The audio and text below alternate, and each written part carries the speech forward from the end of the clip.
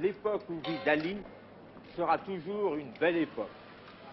Et ce talent, nous le voyons éclater sur toutes ces magnifiques affiches dont vous avez fait le don généreux à la SNCF.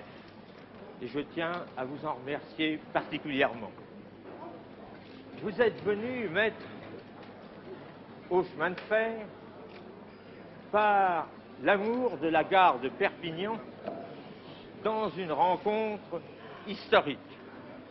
Et il est bien certain que les biographes de l'avenir retiendront cette rencontre comme une étape marquante de votre glorieuse carrière.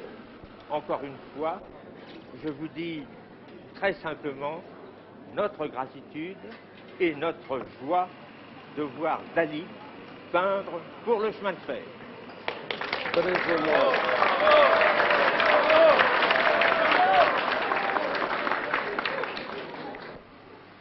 Je dois éclaircir une question qui a été un peu trouble ces derniers jours à propos de mon attitude vis-à-vis de la société de consommation. Le Figaro a dit euh, inexactement que la tarif de Dali vis-à-vis de la société de consommation était de 2000 dollars l'heure. Ce n'est pas exact, c'est 10 000 dollars la minute.